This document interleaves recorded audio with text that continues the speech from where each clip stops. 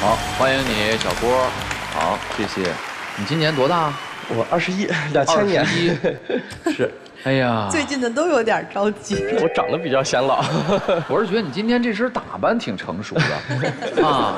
对，太成熟了，有点不符合，有点像就过去的保险经纪、房地产公司。对他应该是服装显得他气质有点老成，但长得不老成。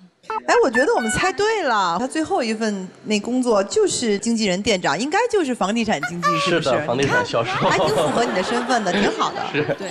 不是这套服装，实际上我做房地产之前，我基本上也是从来不穿西装的，也是做了房地产以后，然后才是每天都要每天都要穿西装嘛。我有一个问题特别想问一凡，怎么分辨穿西装和衬衣的白领和穿西装衬衣的房地产中介？呃，我感觉呢，实际上像有一些真正的公司高管呀，一些白领，他们他们的西装会相对于就是不是那么的正，特别的正式那种，会稍微有一些随意，有一些个性在里面，添加在西装的元素里面。但是房地产销售呢，基本上他们的一个非常统一化的。我们来问问韩一怎么分。我主要看两个啊，第一个我看他打不打领带，第二我看他穿不穿皮鞋。如果他穿皮鞋，然后呢，我一般认为这个偏中介化一点，偏乙方服务从业者。如果他不穿皮鞋，穿运动鞋，一般偏甲方从业者。就像我今天穿的这这个风格，你觉得从你的眼中像什么职业？二流子。我这一身啊，一看就是文艺青年去创业了。我强烈要求摄像老师给于林一个特写。于林，请起。于林原地转一圈，优雅的转一圈。对，尤其是皮鞋，看一下，看我们的皮鞋。对我，我也想问这个选手，你能知道我是做什么的吗？看您这身打扮的话，相对于会比较正式一些，然后肯定也是公司的一些管理层呀、领导，然后或者像总经理之类的。因因为站这起来能看出来忍不住了。啥行业吗？其实可以看一下裤子的长度，先看都在，它是九分裤啊，九分裤是九分？啊，春玉老师九分裤，休闲西装看先看面料，再看款型，再看质感，再看配色。所以说，我觉得我们首先男士看的精不精神，为什么不能配球鞋？我建议打到九分裤。啊，九分裤立马就精神。二里面的话，像子龙老师配的精神了，今天是配 T 了，没有配这个这个衬衫儿。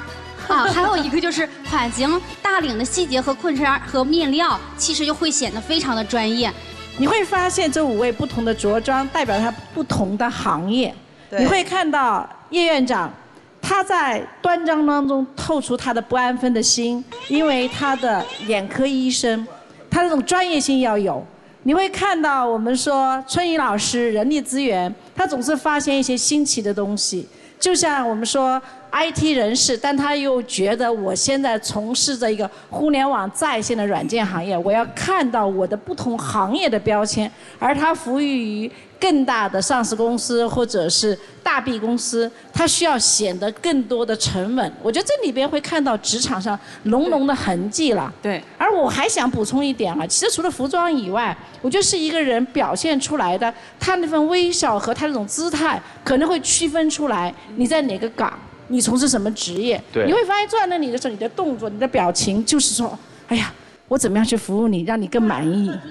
一凡，你知道你要感谢老师们站出来让你去评价职业。一个销售要有职业敏感度，然后当你卖一个产品的时候，透过他的着装、他的表情以及他的谈话方式，你要分析他是不是你的目标用户，然后包括呢他的职位角色。这个正好给你上了一课，特别好。对，是的，是的，非常感谢几位老师。我看了一下你同事眼中的评价，成熟稳重，百事通。他这个站姿啊、笑容啊，都挺职业的。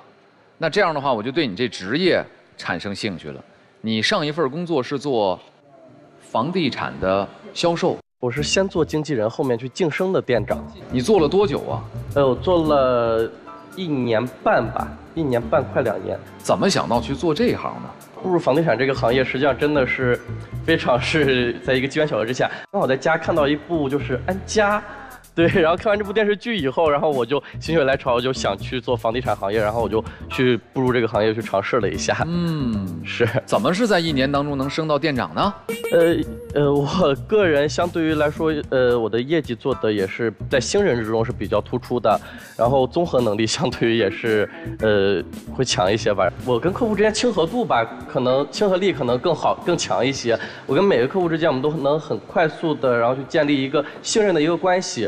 尤其是在我们这个行业，呃，做销售这个行业来说，就是嗯，签合同那一刻不代表服务结束的时候，签合同那一刻才真正的是服务刚刚开始的时候。所以我的一些售后服务呀，包括这些都做的是非常好的，所以也有很多客户愿意去给我介绍一些回头客，介绍他们身边的一些亲戚朋友之类的。那你在做店长的过程当中，你领导的店员年纪都应该比你大吧？对，是的。